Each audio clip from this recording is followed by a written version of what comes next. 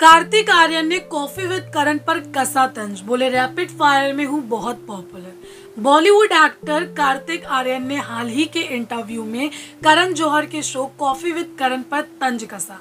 जब उनसे पूछा गया कि ऐसी कौन सी यू नो चीज़ है जिस पर आपको बहुत ही प्राउडली फील होता है तो उन्होंने कहा कि मैं रैपिड फायर शो में बहुत ही पॉपुलर हूँ। दरअसल हाल ही में Koffee with Karan season seven में सारा अली खान और जानवी कपूर पहुँचे थे, जहाँ पर करण जौहर ने सारा से पूछा था कि उनके एक्स एक्स क्यों हैं, जिस पर सारा ने जवाब दिया था, क्योंकि वो सभी के एक्स हैं। तो वहीं कुछ दिनों पहले करण जौहर ने सारा और कार्तिक के रिलेशनशिप को भी कंफर्म किया था। सारा ने कुछ साल पहले कहा था कि उन्हें कार्तिक पर क्रश है। साथ ही उन्होंने कार्तिक को डेट करने की भी इच्छा जताई थी।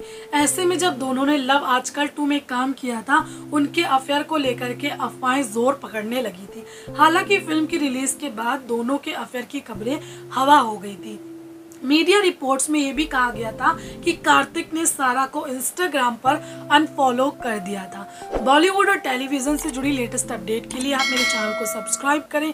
मुझे इंस्टाग्राम पर फॉलो करें। कास्टिंग जोया के नाम से मौजूद हूँ। Thank you